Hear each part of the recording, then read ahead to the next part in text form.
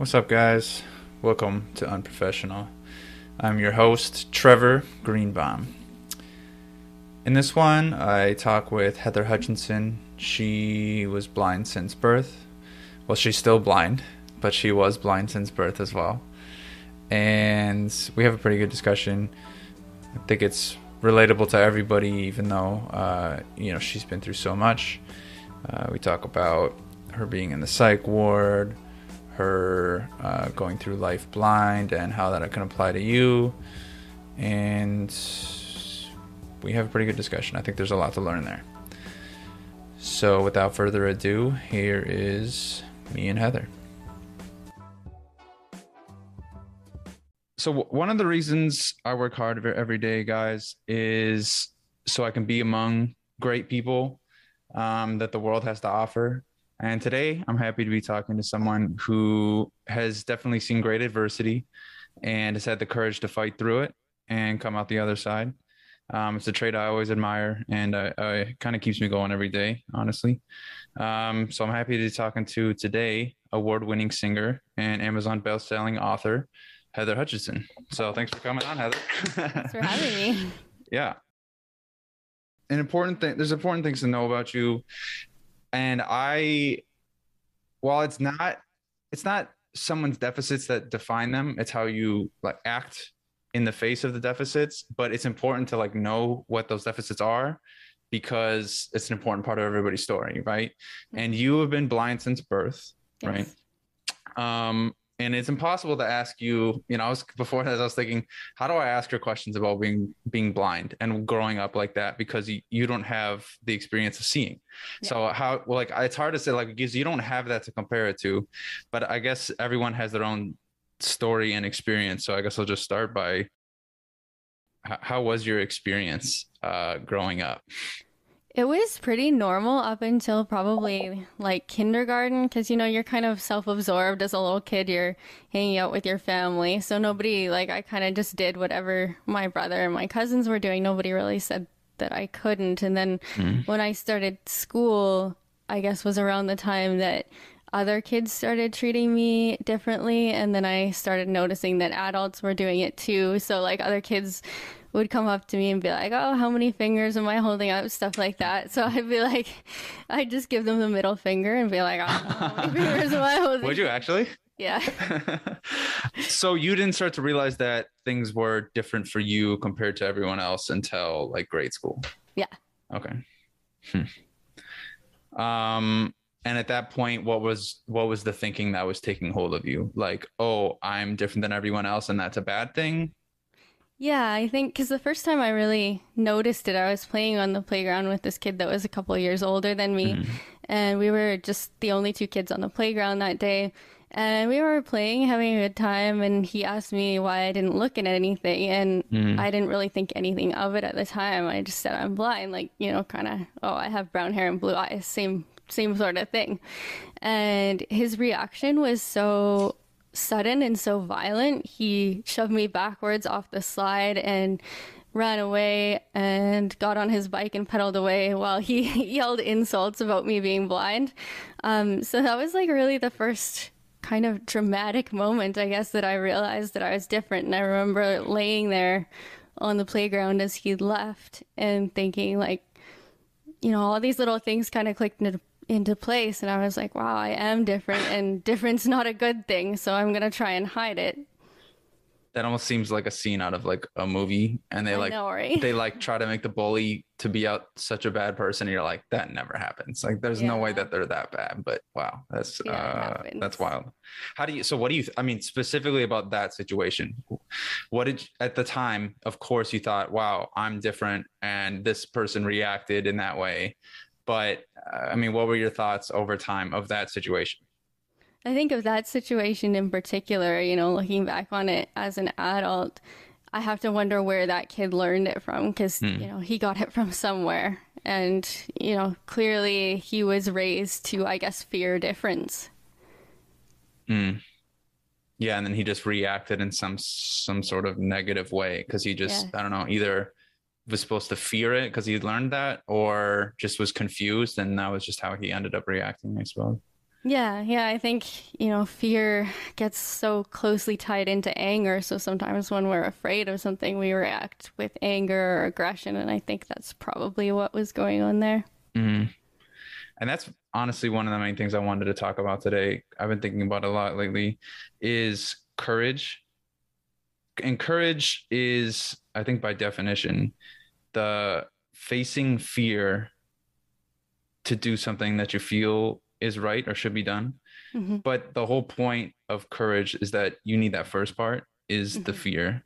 Yeah. And, you know, there's people walking around today, you know, some of them are very successful, like CEOs. Some of them are, you know, uh, the homeless or whatever, but they're, you know, like almost psychopathic. They don't feel the fear.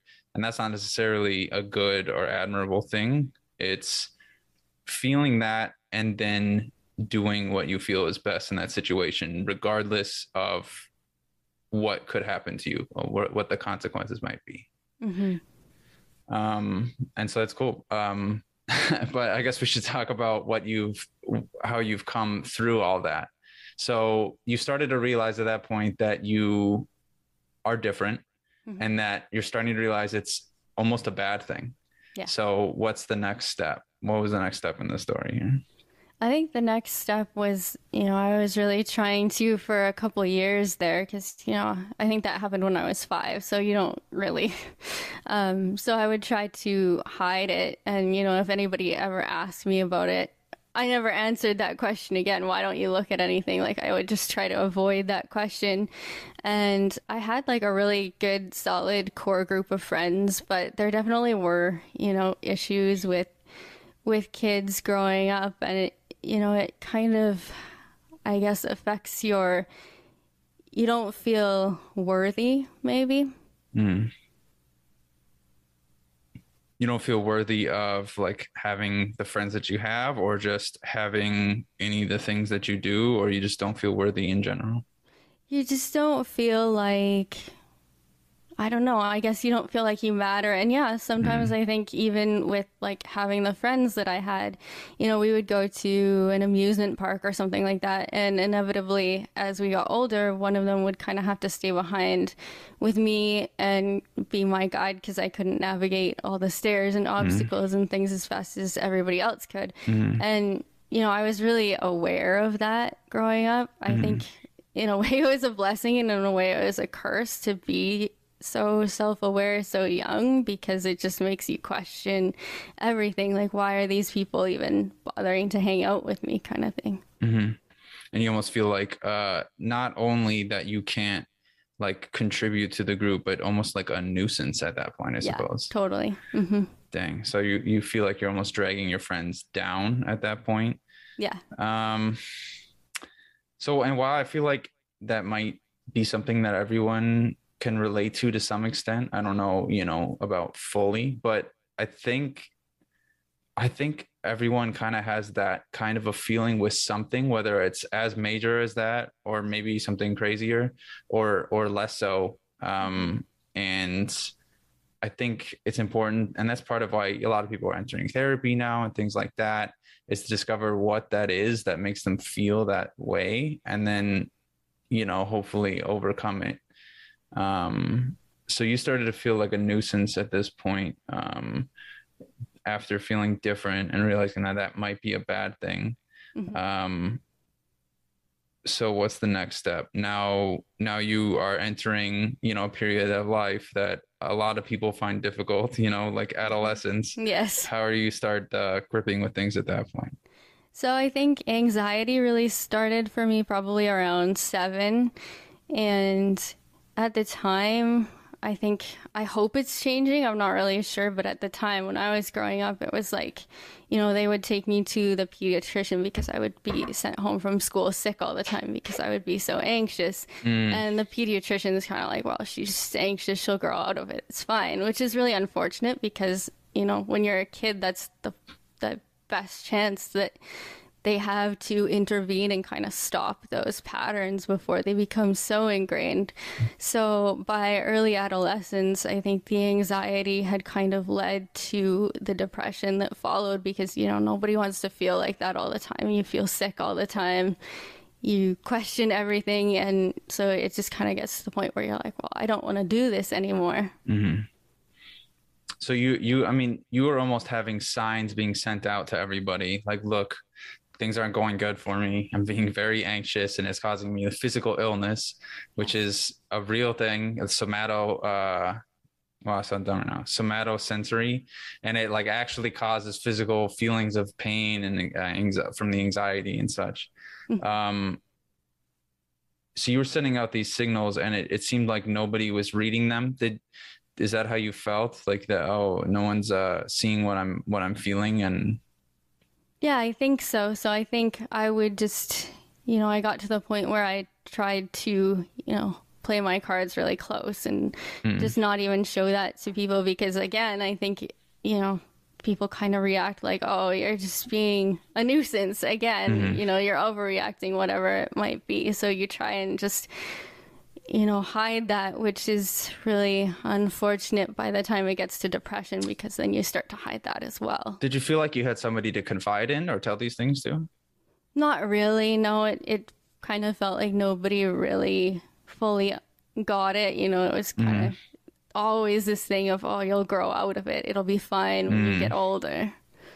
I feel like the main problems I run into when I'm trying to look for help or advice from somebody is they either do the that thing like oh you maybe you'll grow out of whatever difficulty you're experiencing or which is even more frustrating in my opinion is the sympathy but no like empathy. Like you know they oh wow you know it must be really tough being blind. Like i can't imagine. It's so hard you know and then it, it's just period. That's it you know yeah. like oh that sucks you know? And some, sometimes that's good to hear. It's like okay this person really you know understands me or whatever.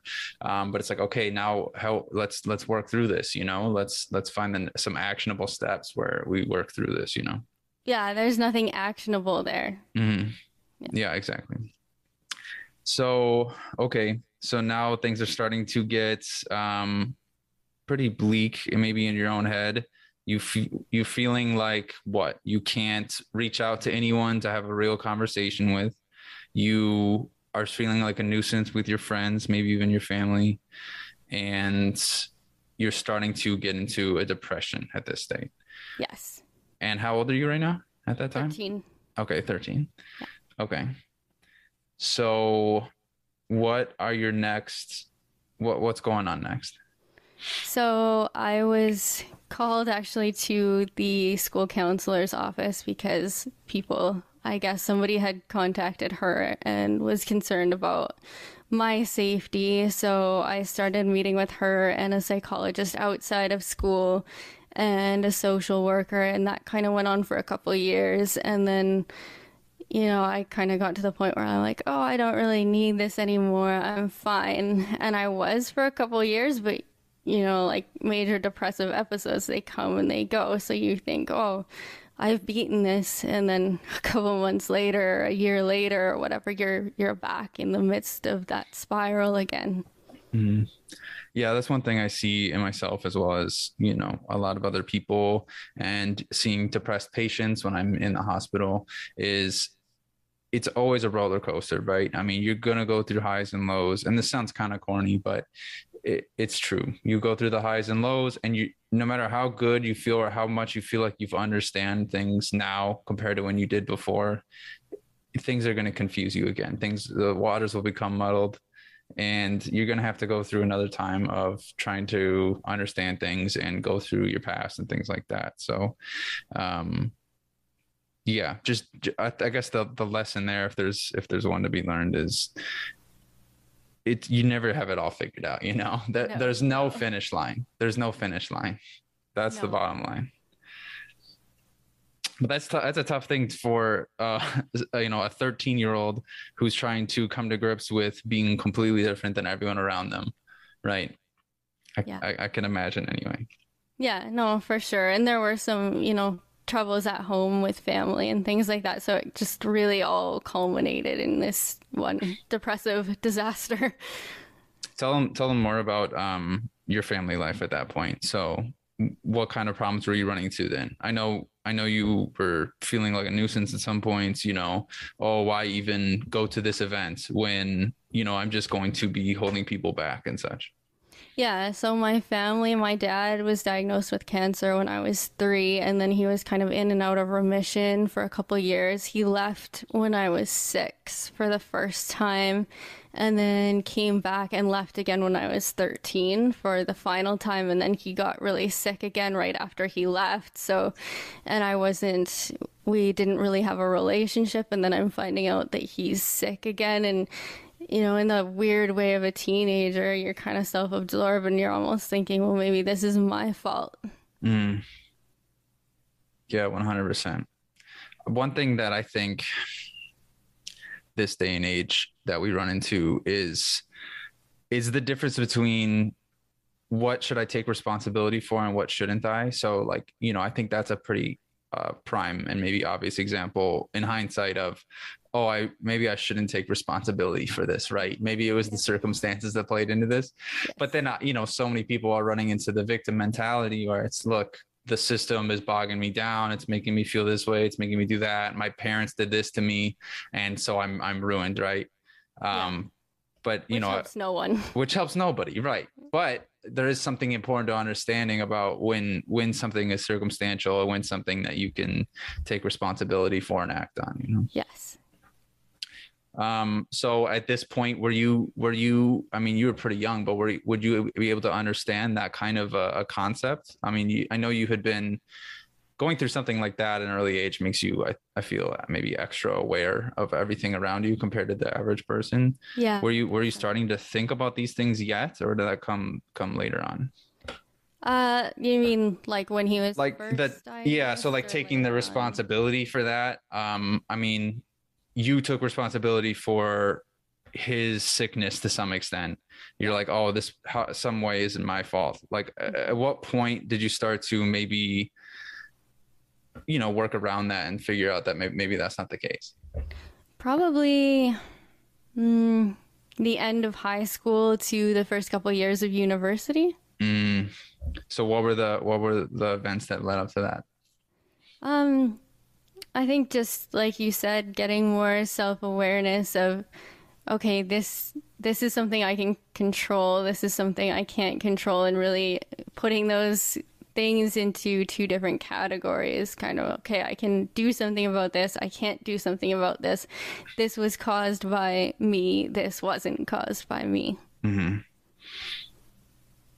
so in general what do you think are some misconceptions about people who are blind that that people have i think a big one is that we are i don't know how to put this nicer but that we're stupid so hmm. you know i'll go out to a restaurant and for example and the waitress will either not talk to me at all. So she'll talk to whoever i'm with. Oh what does she want to eat? Or she'll talk to me like i'm like three years old you know with the whole like baby voice and everything mm, which is hmm. really that's so demeaning. Oh yes, man. Yes. It is. And it almost makes me want to like start talking back with that same voice and like maybe then they'll get it that it's ridiculous. Uh, one thing that uh, I can I've seen around. So I'm from an international medical school, and we you know we have people from all over the place who go there. You know, whatever, uh, Africa, Asia, the Americas, everywhere. So, and it's in the Caribbean, and we see so many people who speak many different languages and stuff. And I've seen a similar thing with that. So someone who you know like half knows a language every like the first your first instinct is to be like oh he's not smart she's not smart mm-hmm. like and it, it's hard because that is genuinely your first instinct whether you like it or not no matter how good of a person you are i think that's it's pretty universal yeah. but then you you just you have to think past that and and just you know reconcile the fact that hey if i only knew half a language I might seem stupid, but I'm not, right? Yeah, yeah, exactly. Because you're gonna sound like you know a bit of a toddler. When you're mm-hmm. speaking a language you don't you don't speak but that doesn't mean that you're not very proficient and intelligent in your own language. Mm-hmm. and so in those earlier years were you able to forgive um, the people who like treated you that way you such as the waiter who would come by and treat you like you know with the baby voice? Were you able to like forgive them yet for that? That would be pretty tough for somebody at a young age i feel. Yeah it was hard. It just felt like you know, I'd try to educate as many people as I could, and it was never enough. There was always, you know, another waiter that was going to do the same thing or mm. whatever. So it just felt like I can't fix this. Like, I'm in a situation that I can't wake up for. Like, on the really bad days, like, this is a nightmare. I can't wake up from this. I can't make people stop treating me like this because even if I get through to one person, it's going to be like how many more are there to educate? It's never ending and I can't fix it. Right. And you're not exactly going to wear a shirt that says, Hey, I'm blind. And then there's like a paragraph about, you know, Hey, like I understand just as much as you and yeah. like this and that, you know, and, and then it's just almost seems like, oh, this person just wants attention because they're blind. Totally. Yeah. Yeah. It's like you're damned if you do and damned if you don't. I yeah. don't know. I still haven't figured out the magic bullet to educating people without, yeah, being over the top. Like, yeah. Well, I think there's a lesson in there somewhere. I mean, you you want to educate people on on on difficult topics, but you can't like force it uh, on the people who either aren't willing to listen or just aren't important to the conversation in the first place. Like that person walking by on the street and you know they might give you a funny look or you know say a certain thing but do they really matter in the in the context of everything? Like does it really matter you know the, what yeah. they say? Yeah and i think that's the point that you have to get to or you'll just drive yourself crazy. Yeah and that i mean i think that's the thing with that i imagine with great adversity such as this is you either become stronger because of it or it defeats you, right? Yes. And so tell us about the time when you started to feel defeated by this. I think it was on and off for a lot of years with my major depressive episodes. You know, it would all kind of coincide to oh my god i can't fix this. This will never change. So you know you have that like hopelessness going on. And especially when i was in one of my episodes which you know could range anywhere from a couple weeks to a couple months or even up to a year where you know i'd stop eating i'd stop sleeping my hair would start falling out all that kind of thing. Your hair would generally start falling out? Yeah. Dang. Yeah Um, okay. So you started to have these types of feelings and what were you doing at the time uh, at this point? Like what was your like day to day? I was in university, then I got out of university. I traveled. I went to live abroad for a year. And that was actually probably the best year, you know, the least there were no depressive episodes. It was what caused like you what caused you to to travel? Like what what transpired? What were you thinking? Well, I grew up kind of surrounded by the the Latin American community in Canada and to make like a really big generalization here, Canadians tend to have like one of two responses to my blindness. okay. Either they like get super awkward about it and you know, to the point where like they don't even well, well, some people get really awkward about it and that's all they want to talk about. Some people get so uncomfortable with it that you can t- tell that they're like studiously avoiding the topic, which is mm. awkward too. Mm-hmm. And some people try to pretend that they're totally cool with it by like cracking jokes and things like that, which mm. is cool. I like a good blind joke as much as the next person. But I've heard them all. Like yeah. people are a lot less original than they think. So they'll like crack these jokes and I'll just be like, ah but Damn. on the on the other side, I think people from Latin America, and I don't really know why, but they're they're a lot more observant. So they ask a lot a lot fewer questions, but they mm. observe a lot more, and they just don't get weird about things. I don't know what it is, but so having grown up like kind of surrounded by that, I wanted to go to a country and and be completely immersed in it. You know, to go to this place and be different for a different reason. So to mm. be like mm. the girl from Canada instead mm. of always the blind girl. Right. Go over there and be the white girl from Canada. Yeah, like, yeah, oh, look exactly. at this girl. Yeah. yeah. That's cool. That's an interesting take on it. Um, yeah, I think that's a, a decent thing for people to appreciate. Although it's another one of those that um, it's hard to to get into people's heads unless they are really trying to like change something. Is the maybe listen and observe things before you know you start taking action or saying things about something, right? Um, yeah. But but there's also the other side of it too, which is it's important to start taking action on something before you know before you just keep thinking about it keep thinking about it keep thinking about it and then you never take action you could have for instance you could have easily never traveled or taken that chance um, but you're like i'm going to take this action even though it's scary Yeah, totally. so you go to latin america which country again Peru. Peru. Okay. And you had a great experience there. You people were more, I guess, just understanding and and just in in that context. Yes. Okay. And then you come back and do you have troubles again? Are you is it is it is it bad again? Yeah. So at the airport, getting off the plane, the very first conversation I had was with this guy. Well, I didn't even have the conversation with him because he wouldn't talk to me directly. He was talking to my partner who was with me. Hmm. And he goes, What's wrong with her? Was she born that way? Oh and, my god. and this is like the man. first interaction I've had with anybody in Canada for the past year. And it, like, something like that didn't happen to me even once when I was in Peru. Whereas, like, here it's almost a daily occurrence. So, Oh just, like, man. Is it really? yeah, it, it happens a lot. So it was like, like this. I'm been back in Canada for five minutes, and I remember exactly why I wanted to leave in the first place. That surprises me. I, I I didn't think that it would be an everyday thing in the US, but that's crazy. Yeah. Why do you have it? You have no idea. I mean, I'm sure you've thought about it. What? Why is it just a cultural thing? Is it because you had something else that stood out um, besides besides that, and in in South America, or or what was? What are you? What are your thoughts on it? I think it almost might be like the the culture of us in North America is we almost feel entitled to information. So we want to know something, we're going to find it out. We don't care how we do that. We just want to know.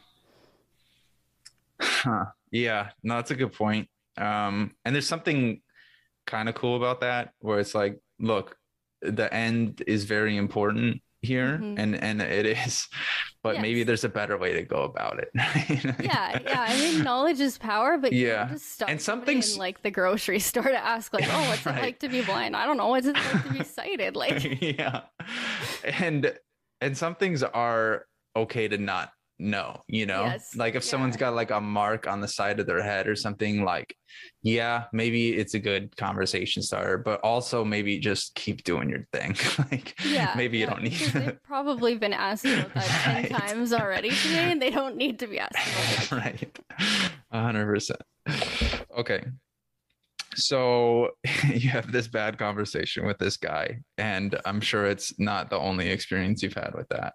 No. Um, and so you go back onto the roller coaster when you kind of come back, although I'm Mhm. sure you were still on it somewhat um, when you were in Peru.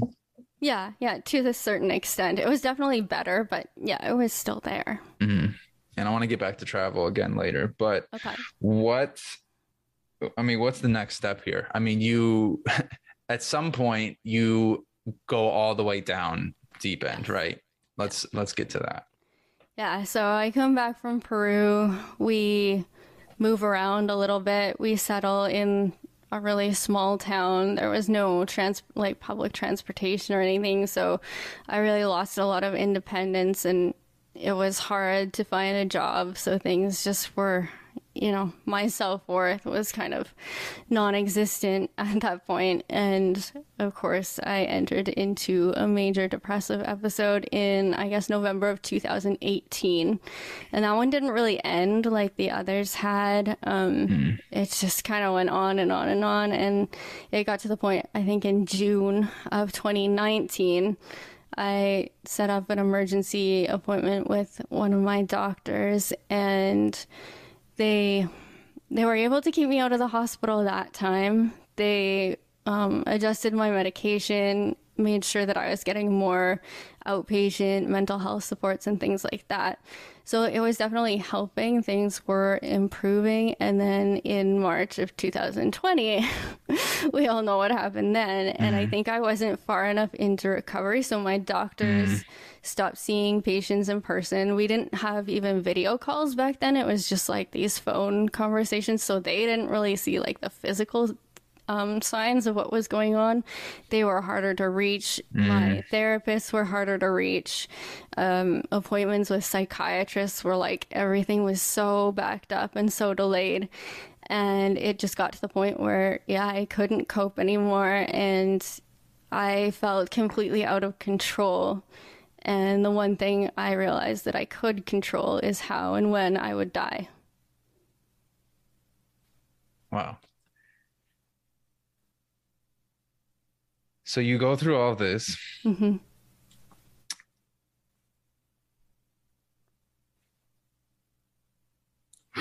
Sorry, that's heavy. yeah, I know. yeah, things things took a little bit of a turn.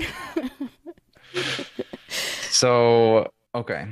What before before we continue on, what was helping you with you were taking the medication you were ta- you were taking the visits with the the in person before this right? Yes. Then they switched to tele to televisits. Mm-hmm. first talk about that. It, it just was it less personable? Was it they just couldn't see as many signs? What what what was going on? What do you think fell there? I think it was just such a hard time for everybody. Nobody knew what was going on. And I think it was really challenging for people in the medical community um, so, you know, it was harder to make doctor's appointments. They would call, but they would, you know, kind of be distracted and because they're mm. trying to manage all this other stuff and not seeing people in person. Like it was a huge shift, I think, for everybody. So mm. I think that they were a little less attentive, maybe, and there just wasn't that, that personal, like, oh, I can see the physical signs that you're struggling. Mm-hmm and it's not exactly i mean it's it's a combination of things. I mean yes. we we can imagine it's uh first of all just extra stress on the medical system and then a complete change in how things are done. I mean it's completely on camera now um i mean among other things. So okay. So things definitely fell there. Um was there anything else? I mean you so you were staying at home. Um you couldn't really go anywhere and that all had a toll on you as well. Yeah, I think a big thing for me was when I would go through these major depressive episodes, I would make these like survival goals. Like, I can't kill myself until I take one last trip to visit my friends in Mexico, or I can't kill myself until my friend comes to visit, or whatever it was, or mm. until I finish this recording project that I'm working on to make a new album, whatever it was. Mm. And all of those things. So I would like kind of obsessively count down to when these things would happen so that I could keep going. Then COVID comes and I don't know when any of that's going to happen. So mm. all of a mm. sudden there's there's like no incentive. So one thing that I can draw a comparison to and I think that's all a lot of us can really do to understand each other with some things is to a much smaller extent of course when I'm on a run, right?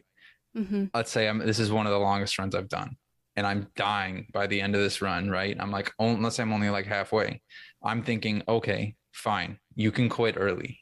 You can quit early. It's okay. Like I'll forgive you, but you have to go until this point. Yeah. And so I would do it. You know, I would like, okay, fine. You know, just one step, another step, another step. I'm, I'm dying. And then, uh, you know, all right, I'm getting close to that point. I'm I just counting down. I'm like, God, can I just get there, please? And then I get there, right? Oh, I hit the stop sign. Okay. Well, okay. I, am gonna just do everything I can to just go a little more. I know I'm not gonna make it, but I'm gonna go a little bit more. So I do, and then I, I keep going a little bit more, and then I, I and I'm like, you know what?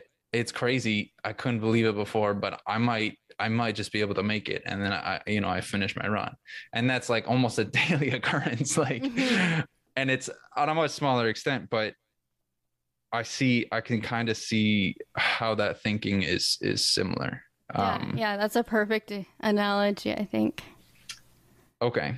So you are just counting down these days like all right i owe it to this person to see them one more time i i maybe just experience this one last thing you know before i mm-hmm. call it yeah so that's what you're thinking at this point covid yes. hits and you're unable to do a lot of these things. Yeah. Um which a lot of us have been unable to do our normal events and totally.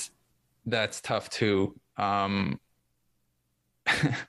it's it's just so hard to draw these comparisons between these like you know because like uh, the thing you know i'm thinking of an example of like oh a person couldn't like go to the grocery store that they like very much anymore at the hours they wanted and that yeah. can deeply affect somebody you know? Like that was their thing every day and it kind of made them feel good you know or whatever the case is. Yeah. and you know but uh, for you you you couldn't do these things that were like just keeping you alive essentially. Yeah yeah. Wow. Um okay so you're going through this. What what's the next what's the next step? So you're going through all this. What i mean did what what's where did how did we keep going down? How did how far did we keep going down? Yeah so basically it got to the point where i was you know still breathing but uh, I, it's hard to explain if you haven't mm. been there but you're just like practically comatose like you're just not functioning at all. So finally i decided no like this is stupid. I'm not going to do this anymore. So you know i got my affairs in order, made firm plans for how and where and when. And, but before that, I was like, you know what?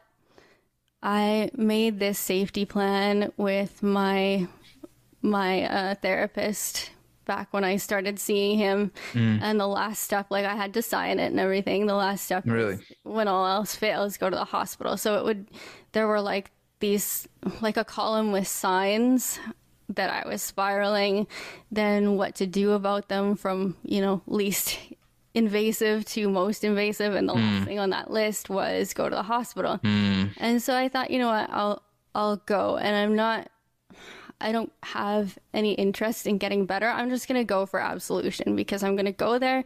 They're going to be like, "Okay, you're fine. Go home." Mm. And then once I'm gone, my family and my loved ones can look at that and be like, "Well, she tried." Mm, you're like, oh, I did all the steps. I did what yeah. I could. Okay. Exactly.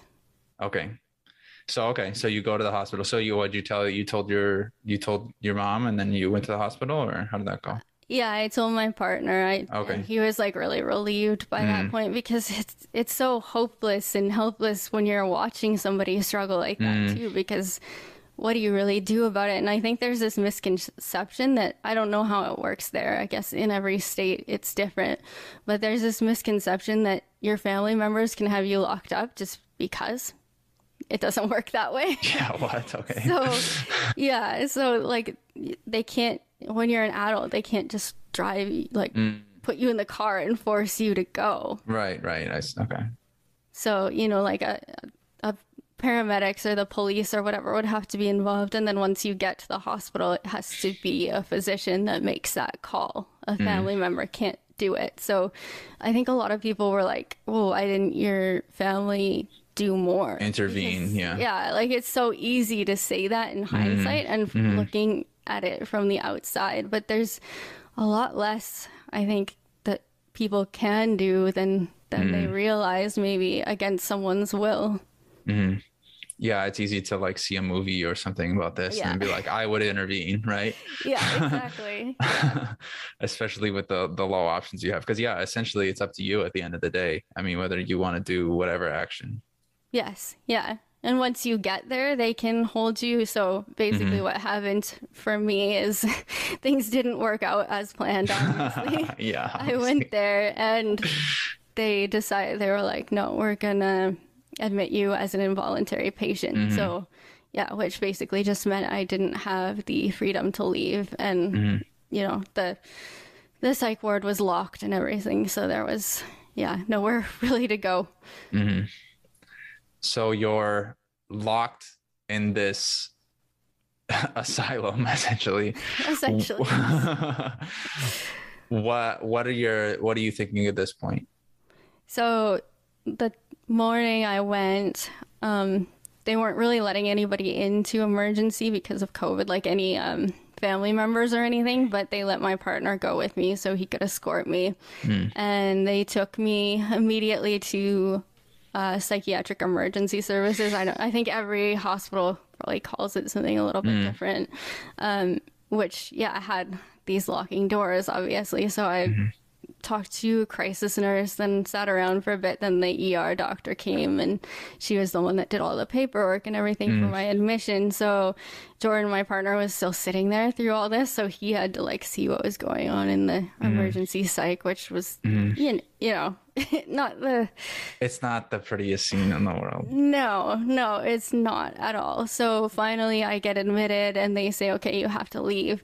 And so he stands up and he goes through this door, and it's this huge, heavy, locking metal door. With, yeah. And so the door like slams behind him and you it's hear like the electronic oh like God. noise of the lock going like going home or whatever. And I remember just sitting there and thinking like this is the end of the road. Like no matter mm. what happens from here, like this is it.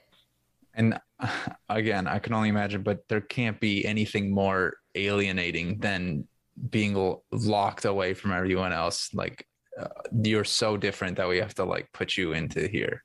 Yeah, yeah, and it's COVID, so there's no visitors for the entire time you're there. that can't help. No, because no, like you want somebody to, you, know, you want to see somebody in that visitor's chair next to your hospital bed sometimes, and there's nobody. You're going through it, you know, essentially alone. They let me keep my cell phone, which was nice because. So- how long how long are you in the in this area then because this is the er yeah, so I spent three days in the psych ER and mm-hmm. then got moved to uh, this, they call it PES, or no, sorry, the IPU. PES is Psych Emergency Services, mm. which is inpatient psychiatric unit. And then mm. I was there for another, about another week. Okay. And during this time, um, you wake up each day. You, I'm assuming, take your medications that they give you.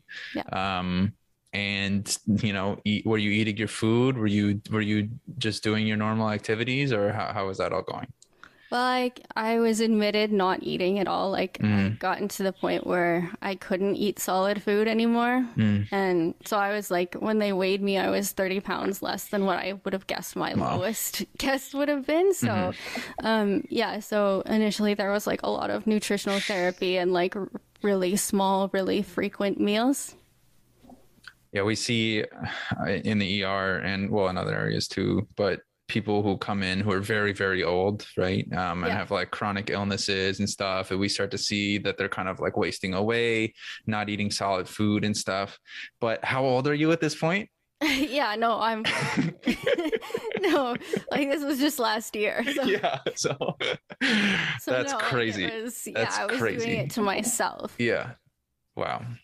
um okay so uh, you start to eat food after what a week or so or how how, how was that going a couple days it was actually like really okay. surprising to me how quickly i could eat because it was almost like this like i got locked away and i was really unhappy about it obviously and mm-hmm. scared and stuff but there was also this kind of like relief of like mm. okay the decision's been made for me i won't die today so i can just i can relax a little bit mm you like you don't even have the choice in the matter for that anymore. So you may as well relax at this point. Exactly. Yeah i'll figure it out later but you know for today the choice has been made for me. That's wild. Yeah. um again the the smallest you know connection here ever but i think i think it might be there is you know okay i'm going out to this like party or something and i'm very anxious right? I'm very anxious about going to it. There's going to be people there that i know but not everybody and you know i'm just i'm worried you know? And how am i going to go? Am i not going to go? I decided i'm going to go. I told people i'm going to go but at the last second i'm like yeah maybe i'm not. You know i just i'm not cut out for this. I just i got other things to do a million excuses to go through your head. And then you know, oh, uh, sorry, the party's canceled, you know, yes. then relief. Oh. Yes, totally. Okay. Oh, okay. Yeah. yeah. No, or like a perfect example. Or even the other way. Oh, the party's at your house now and it's right here, right now. You know, it's like, I don't have an option. It's in my place. I can't escape. Yeah. I may as well just accept this party and I'm, I'm going to start talking to people, you know, I guess either way. Yeah, totally um okay so yeah i'm just trying to like make some connections because otherwise you know it's it's easy it's easy for people to be like oh this person went through this wild experience and you can't either can't relate to it Yeah. because I've never been to a psych unit. You know, I've never had to be locked in somewhere. Like I, I just uh, never happened, right? And then you just go, wow, that's that's a courageous thing that person did, or that's a wild thing that person went through. But you know, I think there's a, there's some connections you could draw draw to things in your daily life. Um, Yeah, totally. Like that relatability because it is like if you haven't gone through it, it it does sound crazy and you know, you explain these things to people and they're like, "Well, that there's no logic to that." Mm. Yeah, because I mean, I've never, I've truly never felt uh, like a comatose state where I just don't want to. Of course, I've had lazy days, right? Yeah. But I've never felt like I just don't want to eat all day and nothing, like nothing matters except maybe doing that last thing before I like kill myself. Like I've Yeah. definitely never experienced that. So, yeah, maybe this is the way we can try to like relate through it, right? Yeah, absolutely. So you've been there about a week or so. You've been Yeah. eating food again. Yeah. You have felt some relief because you no longer have that decision to make anymore. You may as well just do your thing, live in this moment. Now what? So, the first couple days was really like just kind of doing whatever they wanted, but like I didn't really care. I was just biding my time, right? Like Mm, okay, one of these days they're gonna have to let me out of here, and then I can continue on. Um, but I guess it was, yeah, almost a week into it, and I was lying awake one night. I couldn't sleep. They were, you know, I I think in the when they adjust your psych meds out of the psych ward, they do it a little bit more gently. When you're in the psych ward, it's like mm, well, you're here, so we're just gonna like pull out all the stops, and yeah, it's gonna Right. suck for you, but you're here, so right. so oh well. A hundred percent. I've a hundred percent seen that. And they're like, Yeah. well, look, we can take care of this person. You know, if they go through some drastic change, like, okay, well, they're right here, they have the best medical attention Yeah, possible. exactly. So let's go for it. Let's like run them through the wall, you know, let's see if we can break through. Yeah, Yeah, wow. totally. So that must was have been that. Some interesting experiences. The side effects were insane. It was it was awful. So I couldn't sleep. That was one of them. I was That's almost like in this kind of weird euphoric state just because of all the med changes that Mm. they've been doing very drastically. Mm. And the um, medevac helicopter comes and it lands. And right afterwards, they call a code blue. And Okay. so I'm laying there and I start thinking about this patient and like Who can't God, their- breathe. Yeah. Their poor family, like they're having one of the scariest nights of their lives. Mm-hmm. And I'm like, wait a second, how can I feel so much empathy for their family? But I know the decision I want to make is going to devastate my own family. And then I started thinking about the patient themselves. And there was just this crazy juxtaposition of, okay, they're here fighting to live. I'm here fighting to die. I have a choice in the matter. They might not. And it was like this moment where, like, okay, I have to choose now. I'm either going to become an active participant in my treatment plan and get better get well enough to get out of the hospital so I can tell my story, so I can use this as, you know, something bigger than what it was. So my life wasn't just, you know, this wasted tragedy kind of thing. You know, turn something really awful into hopefully something good to help other people who are going through it and educate people who haven't gone through it. Were you having all of those thoughts at at that time, or was that Yes. something that you started to generate? Wow. Okay. Yeah. Yeah. It was like this moment of Wow. clarity, I guess.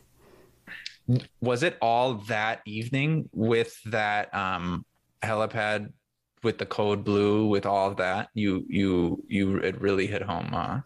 Yeah, and things definitely got worse before they got better after that mm. because all of a sudden you're actually trying and and stuff starts to hurt. Yeah.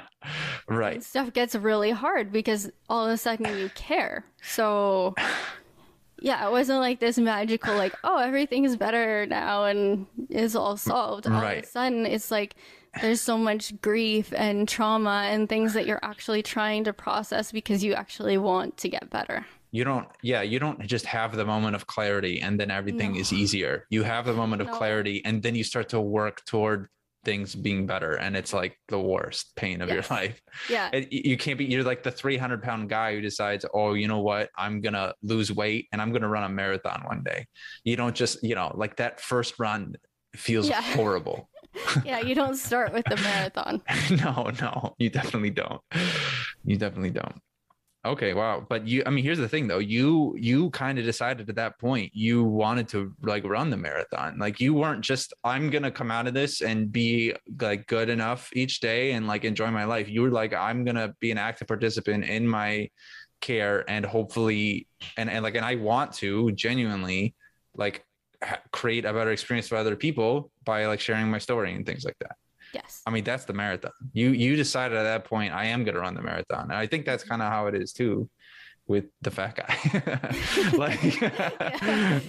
like he decides like you know I'm gonna do this big goal, Yeah. um, and then you know, and then it's that it's you got to take one step at a time. Yeah, yeah, it totally is. It's tiny, tiny, tiny steps towards hopefully something better. hmm So what were your what were your first steps? My first steps were, well, the next day actually in group. Um, why do they have group therapy some boards? It's like a really terrible. I mean, I get You don't like it? but like I get that it's Yeah. you know expedient or whatever because then they're you know you have your private therapy every day with the um with the psychiatrist and then you have your little sessions that they kind of break up throughout the day with the psych nurses Mm-hmm. um but yeah they group therapy It's not for you. is, is it is it for anybody? Do you think it's even effective?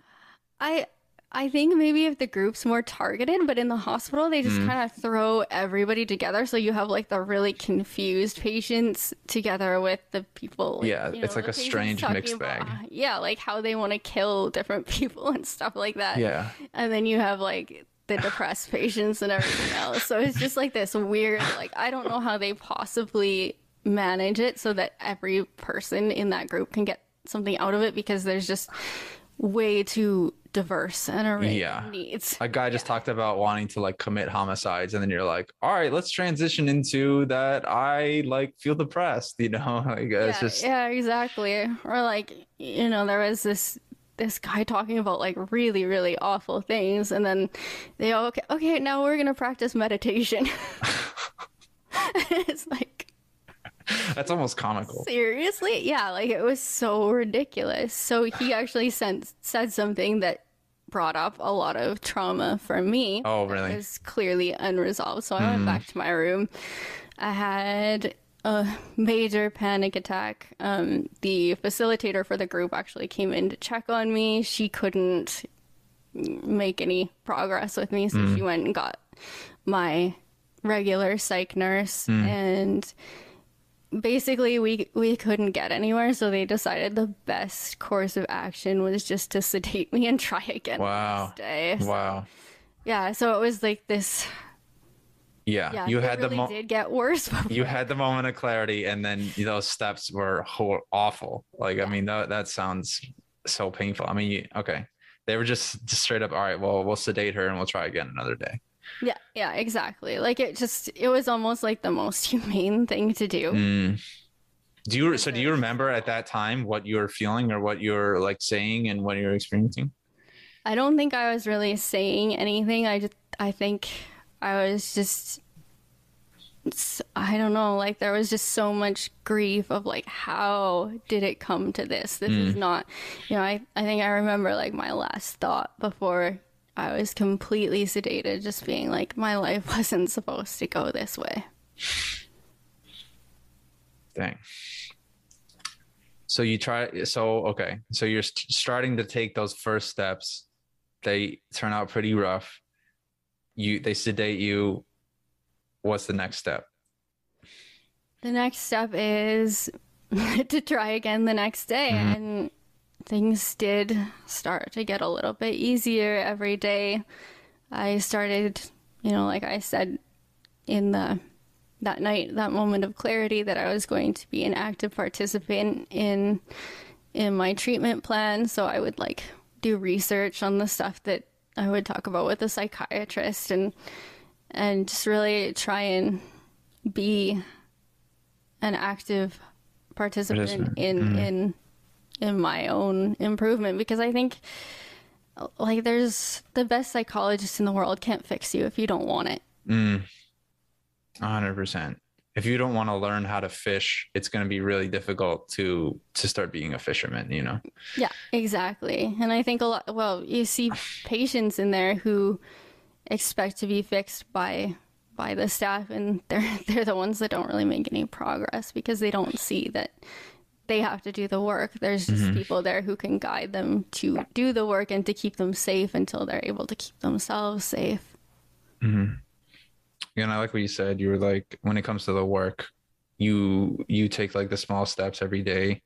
And uh, I haven't really seen the show, but there was this one scene in it that I that I always come back to. Uh, I think it's called like, um, I don't know, but anyway, there's this runner, and he goes up to this guy who's laying on the ground. He's just been running all day, but he's just starting his like marathon journey, almost like that guy we were talking about. Yeah. the fat guy. um, and he's like, it gets easier. And the other guy goes, What? It gets easier. You have to do it every day. That's the hard part, but it gets easier. Yeah. And yeah, I don't know. That's the that one just really hit me. But yeah, so you're you kind of start that thinking. All right, I just got to do this every day. It does get easier. You're starting to experience it somewhat that it does get easier every day. Yeah, yeah, and to acknowledge that there will be harder days. You know, Right. it's not all Right. going to get easier. It's from- not a linear progression. No. Definitely not. No. Not at all. It's one step forward, two steps back sometimes.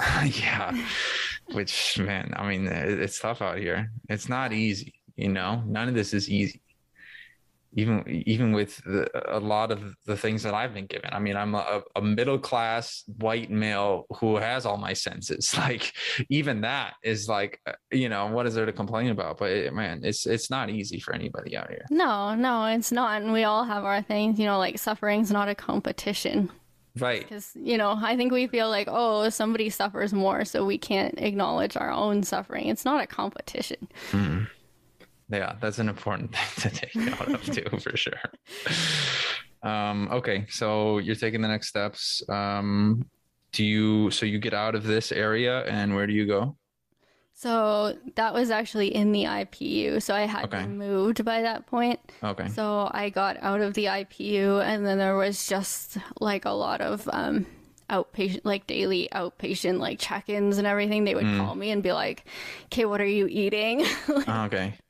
like, very, like, Very specific and detailed. yeah, like I felt like a bit of, like, kind of like a five year old. Like, Mm. have you been eating all your veggies? oh man.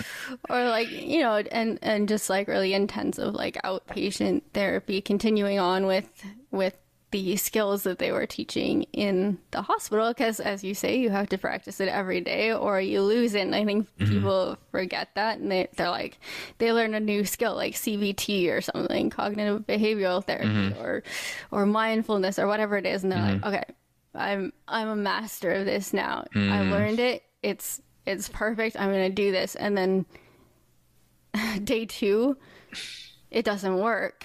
And then they're like, well, I'm doing everything I can. Why isn't this working? It, it just doesn't work. I'm going to give up. But it's literally, it's a, it's a choice that you make every single day. hmm It's something you have to practice every day, and the more you do it, the better you get at it. Um, yeah, no, it's Yeah. important to keep up every day, and it's something that I struggle with. I think uh, a lot of people do is, yeah, understanding and believing. Look, I have to do this every day. It's something you practice. You practice like meditation. You practice cognitive Yes. behavioral therapy. You yeah, know? you don't just like one day wake up and you're like, oh, I'm You don't so just do it. it. Yeah, Yeah. No, it's like anything. Like, It's like learning an instrument, like a musical instrument or whatever you want to learn or learning Hmm. to cook. I don't know. Like, Hundred percent. So you're starting to learn. Um, you're starting to learn these processes. You're realizing that you have to do them every day, and that it is a practice. Um, you're having your ups and downs. So you're taking your one step forward and two steps back. Um, your partner is with you. You, wh- what are you experiencing now?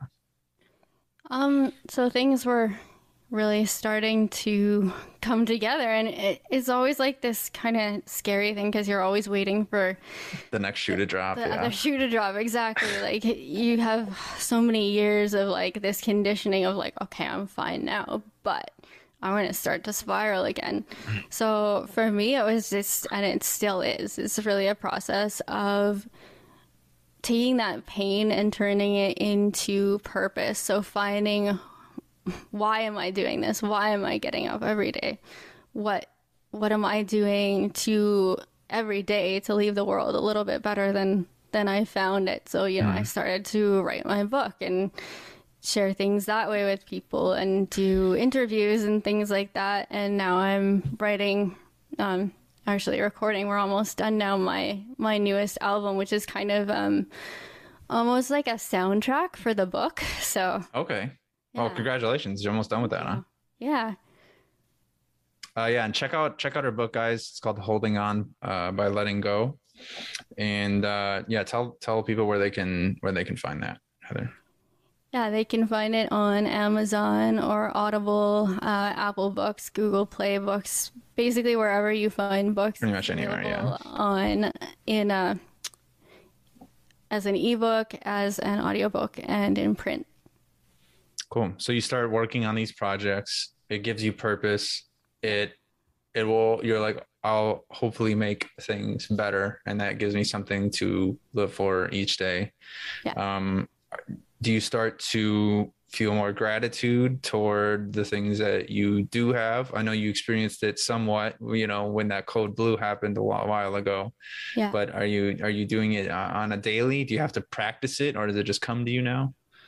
No, it's definitely it's it's gotten easier, but I don't know that it will ever be something that will just happen. I think it's always something that I will need to keep up on. Like to use your running analogy, right? like if if you stop running, you're gonna be less fit. So it's mm-hmm. something that you definitely, if you want that fitness or that you know mental fitness, I guess you have to keep mm-hmm. up on it every day.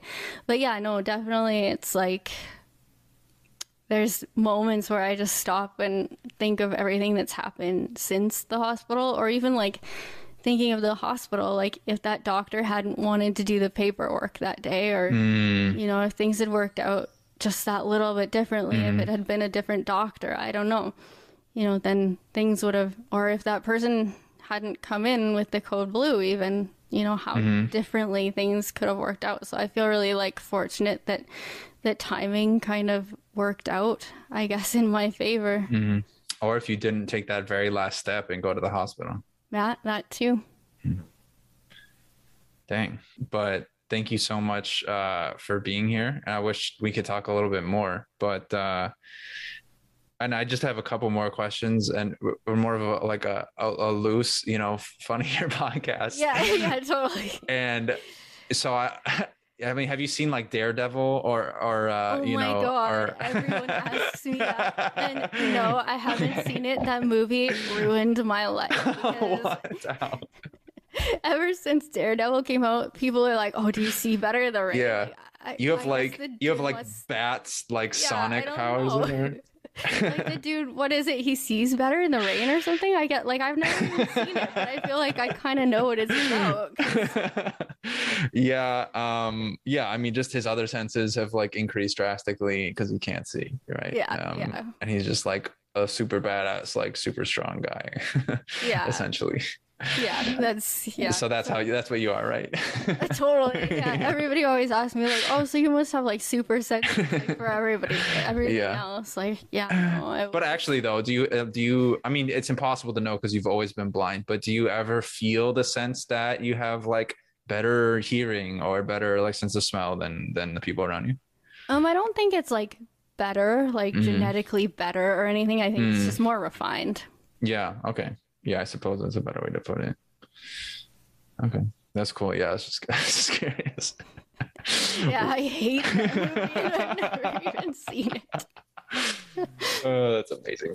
Um, all right. Well, thank you so much, Heather. Uh, this has been a really cool experience for me. I was kind of nervous at first, but we kind of loosened up a little bit. Thank you so Um, much for having me and yeah. the chance to tell my story. Yes, absolutely. No problem. Um, keep doing uh, what you're doing. Keep sharing your story. Um, I think it in, is really inspiring to a lot of people. And um, again, thank you so much for coming on.